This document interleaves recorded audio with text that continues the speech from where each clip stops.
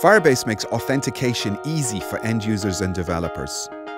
Most applications need to know the identity of a user so they can provide a customized experience and keep their data secure. Firebase supports lots of different ways for your users to authenticate. If your users want to authenticate with their email address, you can build that for them. Firebase Auth has built-in functionality for third-party providers such as Facebook, Twitter, GitHub and Google.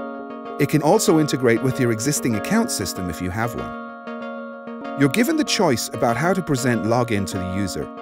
You can build your own interface, or you can take advantage of our open source UI, which is fully customizable and incorporates years of Google's experience in building simple sign-in UX. No matter which one you use, once a user authenticates, three things happen. Information about the user is returned to the device via callbacks.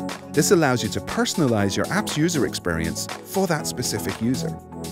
The user information contains a unique ID which is guaranteed to be distinct across all providers, never changing for a specific authenticated user.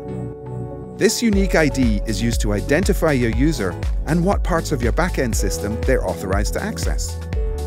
Firebase will also manage your user's session so that users will remain logged in after the browser or application restarts. And of course, it works on Android, iOS, and the web. That's Firebase Auth, allowing you to focus on your users and not the sign-in infrastructure to support them.